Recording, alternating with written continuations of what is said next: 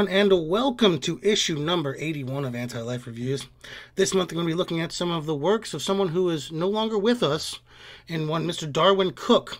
So, I'm going to be going over his DC Comics epic in The New Frontier, with both volumes covering issues 1 through 6 in its totality, published from March 2004 to November 2004. So, let's go ahead and uh, move right along and get into it. Of course, you know the shtick. Please subscribe. I can't do this without a little support from you people out there. Writer and artist on this is one singular person. That's Mr. Darwyn Cooke. Has been awarded just about every major comic book honor that one can imagine. Supremely talented man that not only worked on a number of comics, animated series, a good portion for the DC Comics brand. Reminding me a bit of Will Eisner of the Spirit fame, which is no shocker there as we will see a Spirit comic this month with Darwyn drawing it. Sadly, Mr. Cooke passed away in 2006 after a lengthy battle with cancer. You are missed, sir. Now, this is more framed as a sort of history of the DC Universe in compact form than an actual narrative, a little bit like Marvel's, but I'll go over that at the comparison later. So, my synopsis is just going to be to hit the bullet points. So, we start with issues 1 through 3. We start with the We Losers, a Marine Corps group led by Colonel Richard Flagg. They are stuck on Dinosaur Island, losing men rapidly to, well, dinosaurs. Until it's just one Johnny Cloud, Colonel Flagg, and the dog Pooch that are all that's left. In the end, Flagg escapes and Johnny Cloud dies, taking out a T Rex. Johnny Cloud was a loser to the very end. We then get a brief rundown of how World War II affected and transformed the DC Universe. World War II ushered in a new wave of heroes, but after it ended, the Cold War came and the Red Panic. So faith in heroes went right down the tubes. The JSA disbanded, most of them retiring. There were plenty of active heroes now, but they have been deemed vigilantes in their own right. It doesn't stop them from, from helping around the world, where tensions continue to brew. We see characters active in, in the Korean War, such as fighter pilot Hal Jordan and Lois Lane and Jimmy Olsen as reporters. Hal sees some serious action there, and we also see Superman and Wonder Woman helping to curb some of the tensions in Indochina. Yeah, that goes well. An interesting story about Wonder Woman freeing some women who are being held as slaves and letting them kill the men who imprisoned them. They become her little army. Superman is not amused by it, but it's pretty badass in my opinion. We then meet for the first time, canonically, the Martian Manhunter, summoned from space by a call. The seemingly last Martian begins to acclimate to the human world. He likes soda pop. He can shapeshift. We get some fun panels of him being Groucho Marx and Bugs Bunny until he finds a human form, that of a noir gumshoe detective and a name John Jones. He becomes a very effective cop. The remainder of the first volume is sort of a compendium of events more fit for annotations than really a story with forward progression. An early Batman fights some cultists, saving a young boy and finding a key he gives to J'onn J'onzz. Challengers of the Unknown are formed, a shocking, shockingly downplayed team in the history of comics. They begin to astound the public. More dramatically, John Henry is born, out to take revenge on the KKK who tried to hang him. Wildcat beats Cassius Clay for the heavyweight title. Don't love that. At the after party for the fight at a casino, Captain Cold tries to revive everybody. We get to meet his eternal adversary here, the fastest man alive, the Flash, who of course foils Cold and his unnecessary elaborate traps. Hal Jordan has vivid dreams of an accident to come, begins his work at Ferris Air as an expert pilot, unafraid of anything. In love with the boss's daughter, he learns that Ferris Air wants to head into space and is working for NASA secretly. Finally, Batman learns the truth of John Jones confronting him, and a short time later, Jones learns about something mysterious and dangerous called the Center. Issues 4 through 6. Barry Allen, the Flash, fights Gorilla Grodd, but it's a ruse as the government tries to capture him. He essentially retires then. J'onn Jones continues to investigate the center, and a series of very strange things happen in the world. This leads to a run in with the government, who knows that he landed on Earth, though they don't know it's him, and he finds out the government is planning a trip to Mars via Ferris Air. And of course, who's up to the job? The original Task Force X, which will much, much later be known as the Suicide Squad. But they have a special pilot with them, one Hal Jordan, though this ends pretty quickly due to woe differences, and he's put in the doghouse at Ferris Air. We get an incredible and frankly very upsetting scene, might be the best in all of this. We get John Henry on the run from the KKK. He's hurt, he's dying, he's been fighting. He's the, at the house in rural Tennessee, and there's this little girl that finds him. There's tension, a real moment where he takes off his mask and she has these big eyes just looking at him. Then she calls out for the KKK where where he's at, and he says, you know, there's N words here. And John Henry was killed. And the nation rightly mourns as we get a TV style overview of his history. He was John Wilson. His wife Lucille and daughter Loretta were killed by the KKK and the local police. He became a vigilante to fight so no one ever had to lose their family to the horrors of racism again.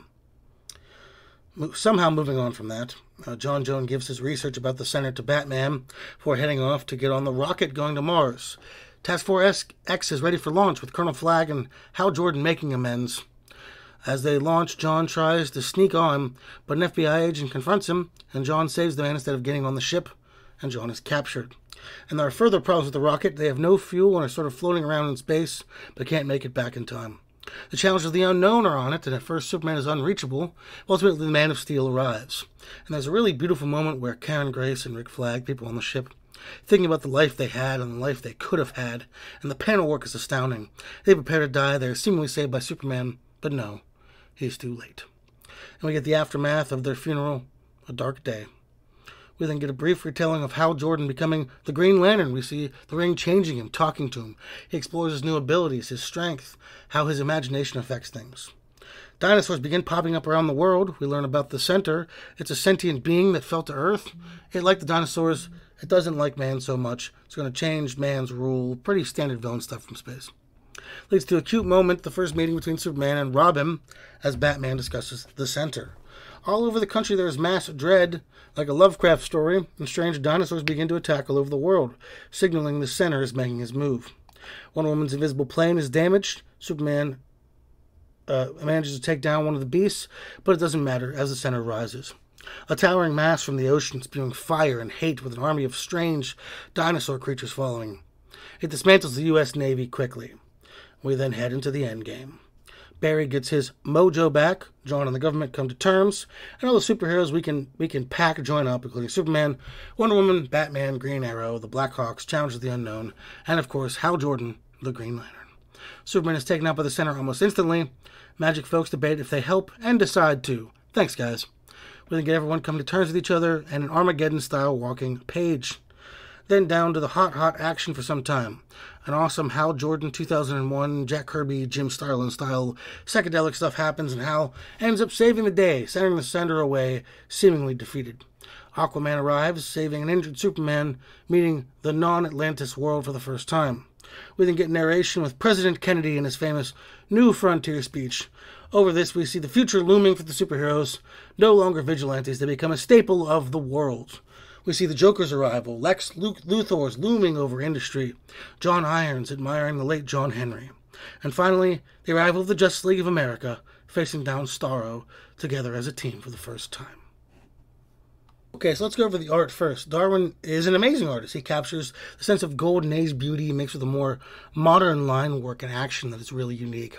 His panel layouts are astounding, and you know I'm, I'm such a panel whore, I'm very picky about it. But it's just this kinetic panels that were used appropriately, be they full page spreads, multi panel pages, etc. The coloring was so vivid and just the whole book jumps out at you. Every page is art you could frame.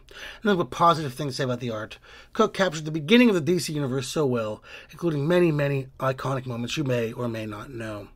Also, much like Alex Ross, he threw a lot of famous people in there Bing Crosby, Peter Lorre, people of that ilk through and through, and it was a lot of fun. And there are some points in this the de- death of Task Force X, Hal Jordan getting his powers, the closing moments, the Superman meeting Raman that were very, very well framed. It was nice to see these wonderful pieces of history. Uh, but one really stood out, and I wish it could have gotten more coverage, more love, was the story of John Henry. Heartbreaking, just staggeringly hard to read and presented a stark reality of the world at the time that I like to think things have changed, but sometimes it's difficult to see the forest through the trees, but excellently done. Those are things kind of fall apart for me. This feels more like annotations to the DC universe than it does a story with any real structure. There's certainly a through line with the center and John Jones, but besides that, it's a very bloated version of Marvel's, which had a lot of Marvel history packed in, kept its stories contained within pieces of that history while peppering in other things around it for fun. This was just, you could probably tell from my overview, jumping from things that happened in the pre GLA, uh, JLA DC. And it's amazing because it, it, it, gets the time and date of everything correct. It works. It's just not very interesting as a comprehensive comic story. If it had been the early history of DC, I wouldn't have this complaint, but it's just a compendium of timeline events. It reads frankly, frankly slightly masturbatory, as if Mr. Cooke just really wanted to talk about DC history to a compulsive degree. Trust me, I understand that feeling. And it's funny because it's described as a Hal Jordan comic, but he gets little to do here. He wasn't interesting. We know his history, and it adds nothing really compelling to the mythos. Speaking of not compelling, the center was a generic, uninteresting, unfulfilling character who had like 50 pages devoted to the fight, and it was really exhausting. Like, we get it. Come on, I don't need to you to pad this. And that's certainly what it felt like. Overall, this was real, and, and this should be my catchphrase, a real mixed bag. It was ambitious and beautiful and well done, but not overall terribly interesting. As a piece of art, it works. As a comic, it's just kind of there for people who appreciate the Golden Age, and for not many others, to be frank. And while I do love the Golden Age, I read Golden Age comics frequently than you might might imagine I do. I don't need a timeline of it. I see it up there with Watchmen and Dark Knight Returns and Kingdom Come, and I just I don't agree with that assessment. It's interesting more than it is good. I'll say honestly, the New Frontier animated film, which came out in 2008, uh, was kind. Of, I liked it better. It cut a lot of the fat and gave a more streamlined, cohesive story. And Darwyn worked on that one, but I think he was on a leash, as it were. I think they let Darwyn run away with his comic a little bit too much. But yeah, you can read this. It's kind of historic, but unless you're into superheroes into that era, you might not get much from it. Well, that was it for the first of this month's Darwyn Cooke comics with The New Frontier. Who's your favorite Golden Age character no one talks about? Let me know down below. So hit my Instagram under Demon Peaks for daily, daily Twin Peaks memes. Check out my podcast, Dark Peaks Podcast. Don't forget to subscribe. Also check out my Patreon. I did change things around on it. It's a little bit different, a little more interesting. And come back next week as we look at Batman Ego. This has been Ethan Micaiah, Master of Minds and Men. Thank you very much, and goodbye. Música